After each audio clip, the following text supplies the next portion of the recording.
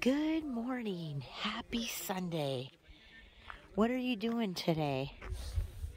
We're out enjoying, you know, out out here enjoying being outside, opting outside.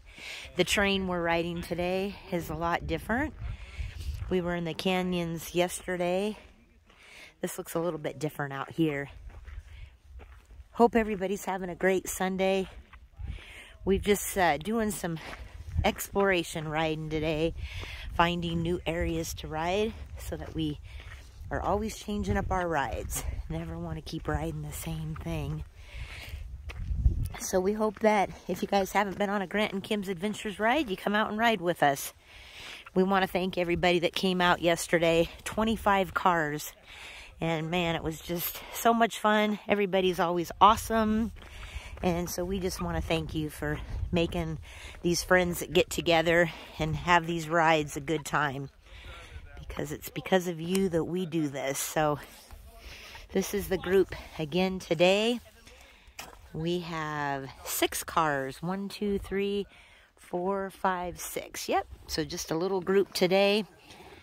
But we look forward to riding with everybody in two weeks. That'll be our Chappie ride.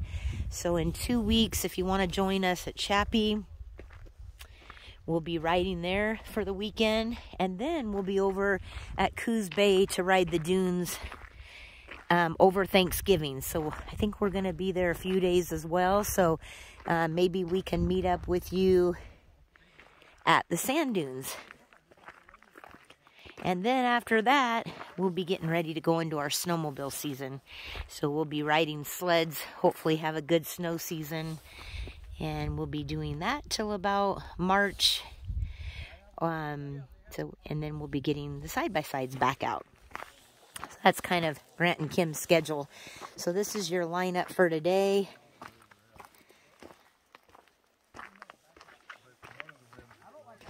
Again, thank you everybody that makes these rides so much fun.